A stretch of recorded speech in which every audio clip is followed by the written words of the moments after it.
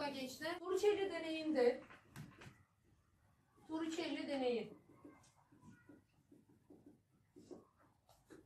Turçeli bir insanımız Turçeli deniz seviyesinde deniz seviyesinde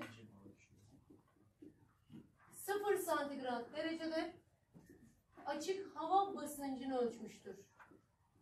Açık hava basıncını ölçmüştür. Şimdi düzenlerimize bakalım. Sistemi kuralım. Hava almıştır. Bu deneyi yaparken civayı kullanmıştır. İçini civayla doldurmuştur. Civa kullanmasının nedenleri var. Geleceğiz. Civayla doldurduktan sonra içerisine cam tüp daldırmıştır. Hangi ortamdayız? Deniz seviyesindeyiz. Sıcaklığımız kaç derece? Sıfır derece. Şimdi baktığı zaman sonuç elini ha, daldırdıktan sonra bir süre sonra bu civanın tüp içerisinde yükseldiğini gözlemlemiştir.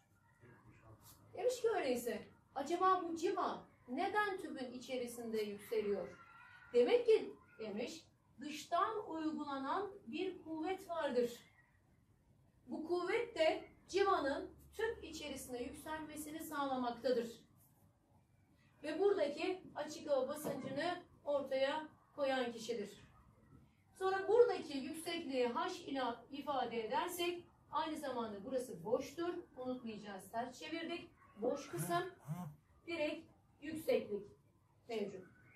Sonra buradaki h yüksekliğini ölçmüştür. H yüksekliğini 76 santimetre olarak bulmuştur. Kullandığı sıvı da civa olduğu için yanına civanın sembolünü yerleştirmiştir. Demiş ki sonra hadi bu birimi bir değiştirelim. 76 santimetreyi diğer birimlerin geçişi yapalım. 76 santimetre civa civa 760 milimetre civadır. Aynı zamanda bir atmosfer basıncına eşittir olarak kabul etmiş. Kendi ismini yaşatabilmek için de 760 tora eşittir demiş. Ve böylece deniz seviyesinde açık hava basıncını 0 derecede ölçmüştür. Bu sistemin ismine barometre denir.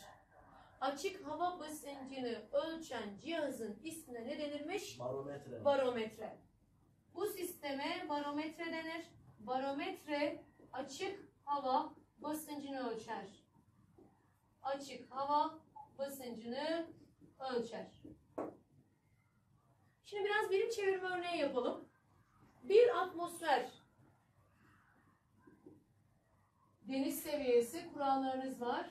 0 derecede 76 santimetre civaysa bu kabuldü. 2 atmosfer kaç santimetre eşit olur? Birim çevirme. 1 ATM 76'ya eşitse 2 ATM 2 kat olacak. 152 santimetre civa. Peki 38 santimetre civa kaç atmosfere eşit olur? Çok güzel. 0,5 atmosfere eşit olur. Genelde gazlarla ilgili sorularda farklı birimlerden verecek. Hangi birim isteniyorsa oraya ne yapacaksınız? Çevirme yapacaksınız. Şimdi peki buraya baktığınızda e, buradaki H yüksekliği neye bağlıdır? Amaç açık hava basıncını ölçmek ise deneyin yapıldığı yer deniz seviyesi ise deniz seviyesindeki yükseklik 76 bulunduğuna göre bulunduğu ortama bağlıdır. Yükseklere çıkıldıkça, rakım arttıkça, rakım arttıkça açık hava basıncının azaldığını gözlemlemişler. H yüksekliği, H yüksekliği ortamın basıncına bağlıdır. Ortamın sıcaklığına bağlıdır. Peki civa yerine başka bir sıvı kullansaydı H yüksekliği değişir miydi? Değişirdi. Çünkü yoğunluk değiştikçe yükseklik ne yapar? Değişir. Civa bir metal biliyorsunuz. Yoğunluğu yüksektir. Civanın yoğunluğu 13,6'dır. Suyun yoğunluğu 1 kabul ediyoruz. oda şartlarında. Peki civanın yerine su kullanmış olsaydık H yüksekliğimiz nasıl değişirdi? Azalır. İyi düşünün. Artardı. Yoğunlukla hacim kapladığı alan ters orantılıdır. Yükselir de 13,6 yoğunluğa sahip civa yerine su kullanmış olsaydık daha fazla yükselecekti. Daha fazla yükselirse böyle bir deneyi daha büyük bir cam tüple ne yapacaktı? Gerçekleştirecekti. Gerek var mıydı? Yoktu. Onun üzerine dedi ki yoğunluğu büyük olsun ki kapladığı alan az olsun. Buradaki H yüksekliği sıvının cinsine bağlıdır. Peki bazen sorularda civa yerine başka bir sıvı verecek. Nasıl geçiş yapacağız? D1 çarpı H1, D2 çarpı H2 ile geçiş yapacağız. Bir tarafı civa alacağız. Diğer tarafı da verilen diğer sıvıyı alacağız. D demek yoğunluk, H demek yüksekliktir. H yüksekliği 3 faktöre bağlıymış. Peki neye bağlı değil? Torricelli bu deneyi farklı şekillerde cam tüple yapmış. Acaba demiş ki cam tüpümün şekli değişirse acaba yükseklik değişir mi demiş. Deneyi farklı cam tüplerle gerçekleştiriyor. Alıyor daha şişman bir cam tüp alıyor.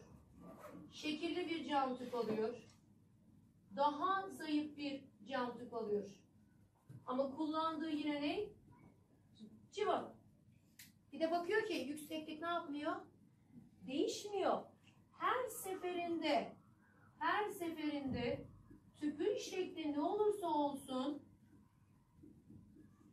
buralar boş gençler.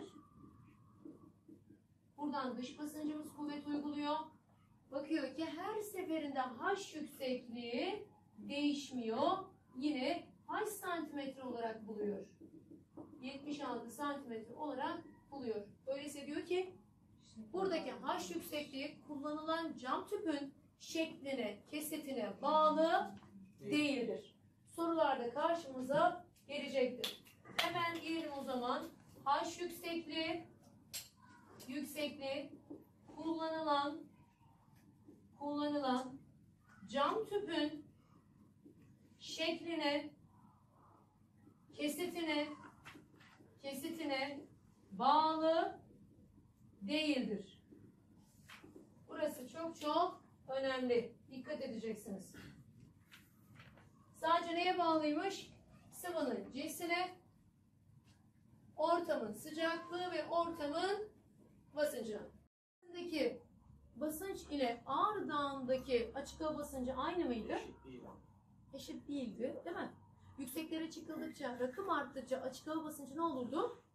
Azalırdı.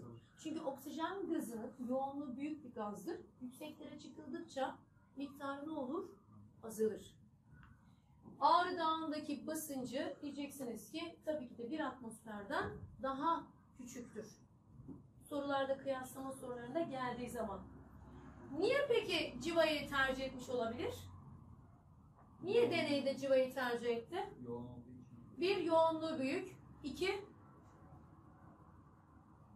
civayı biz sıcaklık ölçerken de kullanıyoruz değil mi? Erime ve e, donma noktasının çok çok düşük olduğu için. Yani eksi 40'larda dahi deneyi yapalım diye. Peki başka ne olabilir? Uçuculuğu az. Çünkü bu bir metaldir. Uçuculuğu az olduğu için bunu tercih etmiştir. Renksiz olduğu için hani çok fazla renkli olan şey değil, grimsi bir rengi biliyorsunuz. Hem belirli hem belirsiz olduğu için tercih etmiştir. Özellikle ama ne? Yoğunluğu büyük, erime veya donma noktası dersiniz. İkisi aynıdır zaten. Çok düşük olduğu için tercih etmiştir. Peki gaz basıncına gelelim. Gaz basıncını hangi kaplarla ölçeceğiz? Manometrelerle ölçeceğiz. Manometreler bizim 11. sınıf müfredatımızda yok. Çünkü sizin eski bilgilerinizde bildiğinizi varsayarak biz neyle devam ediyoruz? gaz yasalarına devam ediyoruz. Ama bir manometreleri size ne yapalım? Bir hatırlatalım.